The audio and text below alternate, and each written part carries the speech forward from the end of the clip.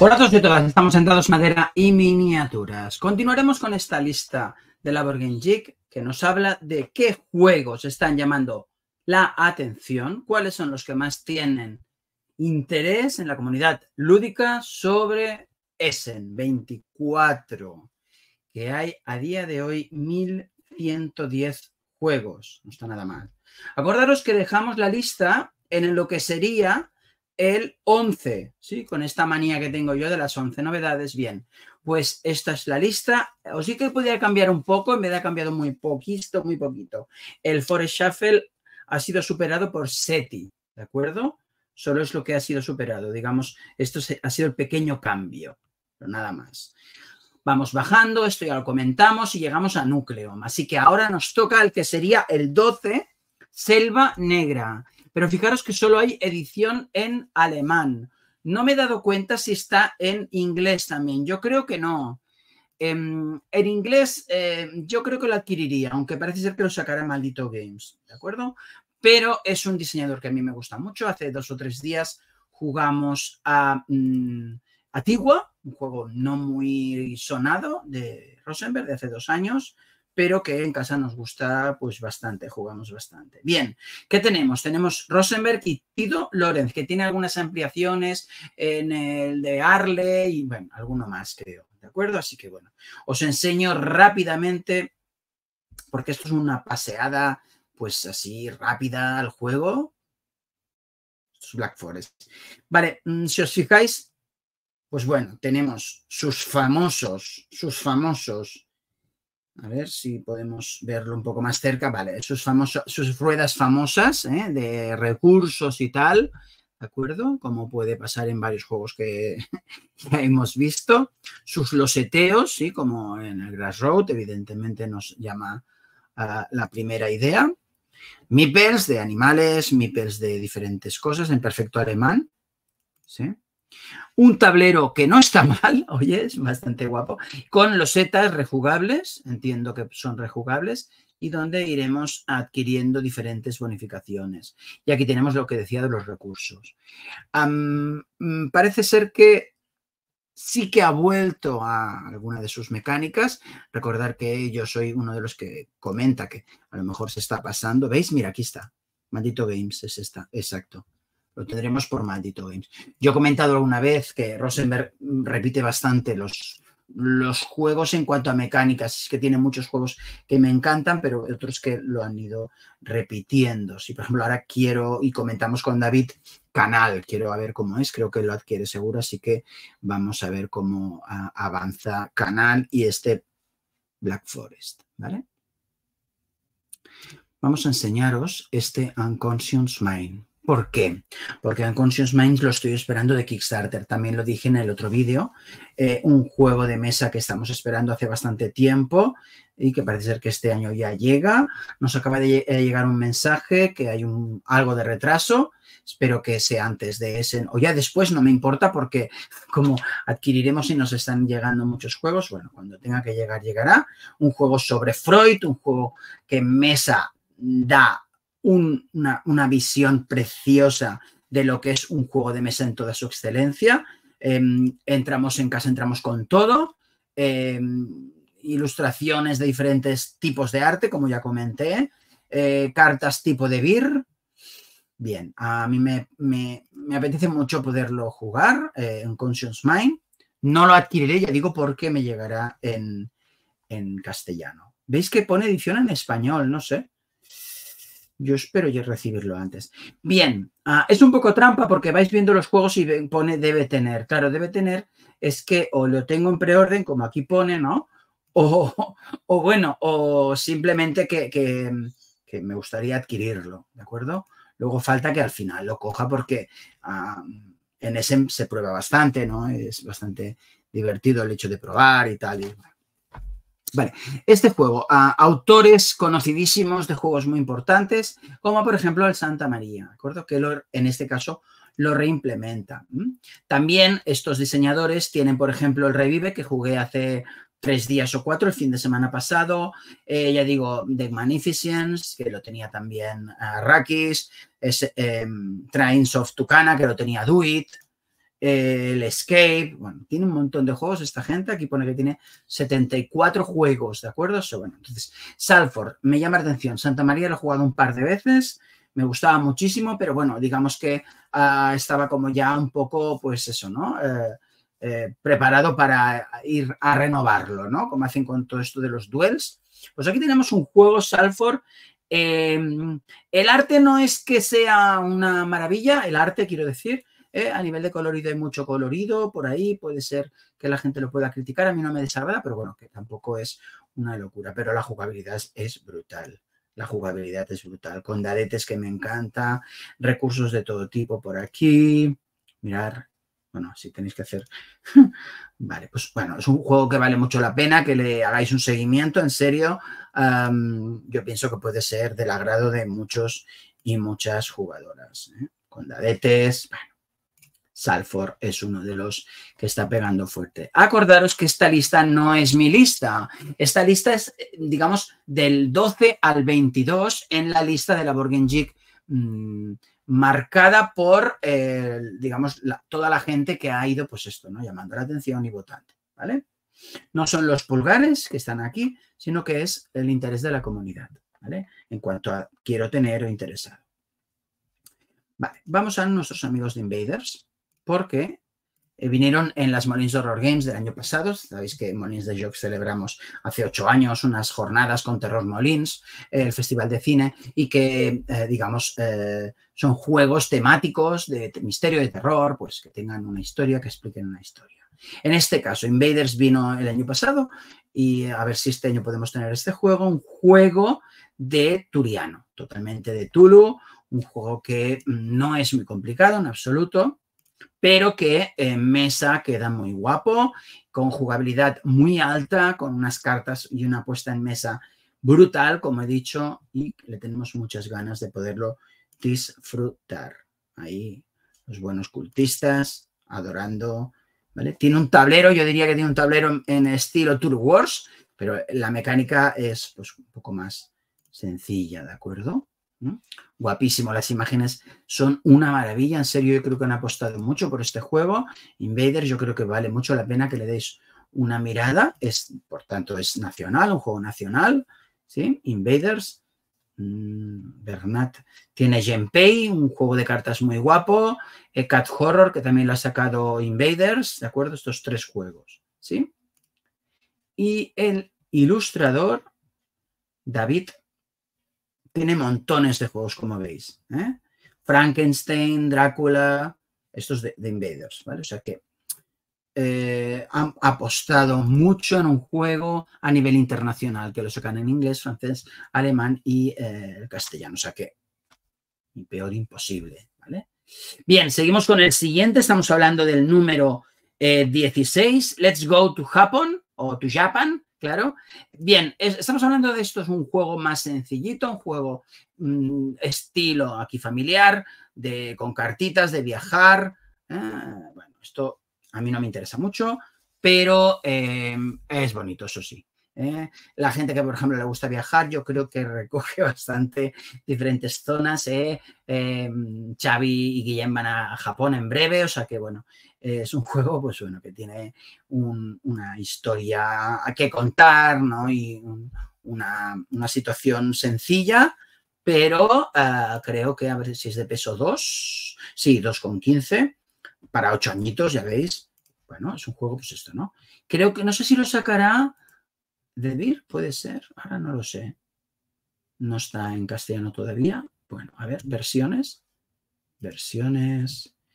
Eh, inglés, holandés, francés, italiano, polaco, español. A ver, español. Delirium, más, ¿verdad? Sí, sí que lo había visto. Delirium, ¿vale? Es verdad que tiene el anterior. Claro, tiene el anterior. ¿eh? Sacaron, creo que a, París se iban. Sí, es verdad, Delirium. A ver si los puedo contactar, que los voy llamando y cuesta contactarlos porque deben estar muy ocupados, yo lo entiendo. Vale, vamos a em, eh, un juegazo. O sea, Maldito Games con este juego lo ha, lo ha, yo creo que lo ha clavado y Mandu Games es una editorial a tener en cuenta. Si no la, si no la seguís, es obligatorio seguimiento. una editorial que vale mucho la pena, una editorial coreana que no hagáis caso de los sus 200 juegos, porque estos juegos, digamos que, porque, mm, digamos que publica para toda Corea. Pero lo que tenemos que hacer es poner por año y entonces nos salen, pues esto, las novedades de esta vez, ¿no? Yellow House, The Veil of eh, Eternity Artifacts, Senendong, estos son los que traen eh, en Essen. Estos son los que traen en Essen, digamos, este año, ¿vale? Estos tres, cuatro, estos cuatro, cinco, seis, ¿vale? Bueno, unos cuantos, ¿de acuerdo? Digamos que em, Valle de la Eternidad, si no lo habéis jugado, eh, es un juego de cartitas donde representa que vamos adquiriendo pues, como personajes mágicos. Ahí está. Y mm, vamos rodeando este tablero, haciendo la puntuación, el primero que llega a 50, fin. Estas fichas son las que eh, yo apuesto por una, por una ficha. Según de dónde cojo la ficha, me da unas monedas u otras, ¿de acuerdo? Em, y voy haciendo un combo de cartas, eh, combos con las cartas, quiero decir. Eso es, Me gusta mucho, me gusta mucho. Eh, vale mucho la pena. De verdad que está muy bien, está muy bien no lo tengo, pero lo he jugado creo que ya cuatro veces. El Valle de la Eternidad. Mira, vamos a darle apoyo. Esto. Vale, vamos a Resafa. Resafa ya lo hablamos eh, con David en la lista de juegos que nos llaman la atención. Acordaros que estamos haciendo una lista de los que más están hablando y estamos en el número 18. Resafa es lo nuevo de Delition Game, lo nuevo de Pero en este solo, ¿de acuerdo? En este caso solo.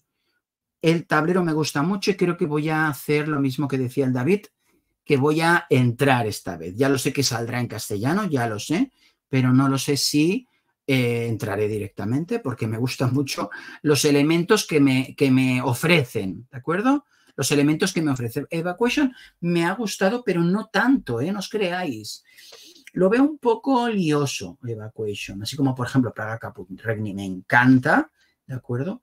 Bueno, y esto lo veo, esto es un nebrazo, veis que aquí estos camellitos que se pueden ir poniendo cosas, ¿de acuerdo? Unas losetas, cartitas, hay muchos elementos, ¿sí? Cartitas que vas colocando aquí, una especie de circuitos aquí, un montón de cosas, ¿eh? Ay, ay, No lo estáis viendo, ¿o sí? No, no lo estáis viendo. Bueno, no pasa nada. Entonces, bueno, pues esto eh, ahora sí que lo estáis viendo, ¿vale? Eh, esto es lo que os enseñaba, ¿vale? Los cartitas, los elementos, los camellos por aquí. Una pasada. Ah, llama la atención. Pero, claro, em, es cierto que luego sale en castellano. Claro. Luego esto sale en castellano y dices, bueno, me como la copia en inglés, pues también se puede vender luego y o regalar, ¿verdad? No sé, bueno. Quiero decir que mm, versiones, estoy viendo la versión en español, Arrakis, ¿de acuerdo? Porque acordaros que últimamente em, todos los juegos de Suchi los está sacando. ¿De acuerdo? Bien, seguimos con un juego que me, dio a conocer David y ya lo tenemos en el número 19, ¿sí? Un juego de, supongo que será de combos, se llama Castle Combo, ¿vale? Es un juego muy sencillito, es un juego de cartas pero que en verano, en fiestas, nos va muy bien estos juegos a todas las personas que, digamos, somos jugadores o que jugamos con gente que, no, que normalmente no juega. Vale mucho la pena este juego. Yo creo que sí. Os enseño unas imágenes. Las imágenes son muy infantiles, ya se lo dije al David, pero luego dice que te engancha muchísimo, ¿vale? Esto recuerda a otros juegos, estos son los puntos que te dará o los poderes que tiene las cartas. ¿Sí? ¿Veis? Que es un, tono de cómicos desenfadado, donde esté el personaje este, digamos, es donde puedes coger y, oye, interesante juego, poco conocido, pero que puede hacer las delicias de mm, personas que empiecen, ¿no? O gente que quiera hacer un regalo o para que se pueda adquirir. ¿Veis? El pedido anticipado. Esto es porque se puede pedir el juego, ¿sabes? Eh, se puede pedir, mira, me apunto porque a lo mejor lo pillo. ¿eh? ¿Qué os parece? ¿Eh? Antes no estaba. Seguimos. El 500, a 508 Rojar 1977 tenemos a Devir. Con lo que parece ser, esta es la edición en inglés, pero habrá más ediciones. Esto parece ser que han hecho un juego temático brutal sobre rock ¿de acuerdo? Donde em, representaremos a diferentes mm, estudiantes de rock que tienen que hacer diferentes actividades, ¿de acuerdo? Incluso hay una, ficha de pues la gente que ah, se metía en drogas y que la gente que iba a, comprar eh, una guitarra por primera vez para hacer ensayos en el garaje, ¿no? Como pasó con muchas bandas. Em, sí, las drogas salen, yo escuché heavy, pues no, no hice nada de, drogas, pero cada uno, bueno, esto. Pero en todo caso, es un juego de mesa muy interesante eh, donde Debir lo ha petado con el tema, ¿de acuerdo? Parece ser que llama mucho la atención, ¿sí? Em, cómo se conseguirá la participación y cómo se conseguirá de qué manera ah, eh, la persona, el chaval o la chavala, se va especializando en rock y va mejorando. Pues trabaja en un sitio, trabaja en otro. así que bueno, eh, absteneos de jugar con chavales. Yo no jugaría con chavales, no hace falta. Lo siento, yo creo que no, pero en todo caso, veis, 14 años, yo diría 16 a lo mejor, ¿eh? o comentar bien el tema, pero bueno, es un juego muy interesante a jugar. Ahora vienen algunas ampliaciones, un par. Primera, eh, ya hemos hablado la de eh, el Valle de la Eternidad, ¿de acuerdo? Que era el número 17. Pero este 21 y este 22, eh, hay un poco de trampa, ya lo veréis, pero bueno. Ampliación de Darwin's Journey. Juegazo como ninguno, guapísimo, divertido, un reto constante y nos viene una pequeña ampliación para mantenernos ahí con, a la espera de una ampliación más, más potente, quizás, ¿verdad? Así que, bueno, el dragón de Komodo, English ¿eh? Eh, versión, pero bueno, no creo que sea muy importante el idioma en absoluto. ¿De acuerdo? Voy a enseñároslo porque no sé si hay alguna imagen de lo que lleva. No, no hay ninguna imagen, ¿vale? Hay esto y fin. No sé cuántas cartas debe llevar. No hay cartas, ¿vale? No es decir, no hay el número de cartas que lleva, pero bueno. Mm, Puede ser que sean, a ver, voy a confirmarlo. A ver, a ver. Nuevo en elemento en el museo, 20 bonos nuevos que reemplazan a los anteriores. ¿Vale? Mm, vale, hay algún pequeño cambio de... Sí, hay algún pequeño cambio de reglas, ¿de acuerdo? Reemplazan a los anteriores bonos, los bonos esos que habían. Vale, digo que había trampa porque este sería el 22, pero esto de manifestación está traducido, ¿sabéis? Esto es porque es una demo, entonces, la demo, eh, yo quiero hacer un especial de demos, ¿de acuerdo? Y por eso, pues bueno, me lo salto, ¿entendido? Pero está muy alto, está en el número 22. Acordaros, 22 de 1110 juegos. Ni tan mal, ¿eh? Vale, y el, digamos que el que sería el 22, que es el 23, ya lo sé, pero el que sería el 22 es este Cascadia, ¿de acuerdo? Este Cascadia, una ampliación. Ahí está. ¿Vale? Una activación que ya la he jugado, ya la he jugado, Landmarks, la he jugado con Ricard. Me gusta mucho Cascadia, un juego sencillito, divertido y que aquí lo que nos dan son eh, una especie de hitos a conseguir, ¿de acuerdo? Así que bueno, fácil de jugar y eh, sencillo de adquirir porque está 5 euros, ¿vale? Este, digamos que esta es la ampliación que faltaba de, de hitos. ¿vale? Hitos ya salió hace un tiempo. Bueno, pues bien, este es el repaso hasta el número 22-23. Habéis visto que hay un pequeño ahí fallo eh, estructural lúdico. Bien, espero que os haya gustado esta lista. Eh, nos vemos en las mesas. Tener cuidado. Nos vemos en ese.